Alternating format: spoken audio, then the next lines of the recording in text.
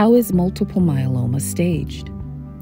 Healthcare professionals use a combination of lab test results, imaging tests, and bone marrow exams to examine the stage of multiple myeloma. The revised International Staging System, or Durie Salmon Staging System, may be used in determining a patient's multiple myeloma stage. The patients are assigned stages one to three. To determine the ISS, you need lab values for the beta 2 microglobulin and albumin.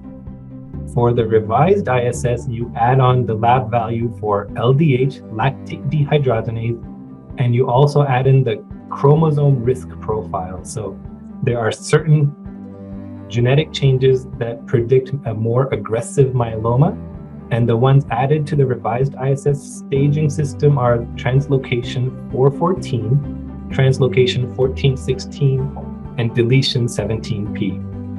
So, staging with multiple myeloma is really unique. Uh, a lot of times people think that every cancer has four stages. Um, that is not true with myeloma. There are three stages uh, for myeloma. And even now, as of this year, some providers are not, some oncologists are not even staging the myeloma. They're looking at the risk factors, the cytogenetic risk factors, to say if you're standard risk or high risk, and not even using the staging system.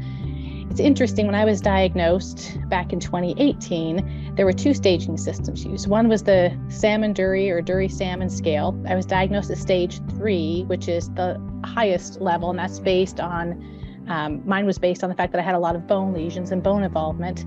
But there's also one called RISS, the revised ISS staging, and that one I was staged at stage one.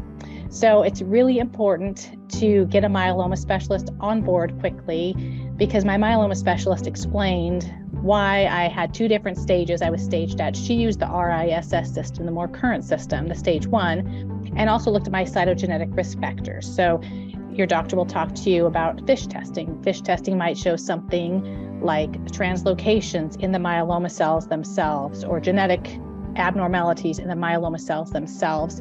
And that helps them dictate also um, what your risk will be going forward and how to treat that, how to treat your myeloma as a result of those risk factors and the stage that you're diagnosed at.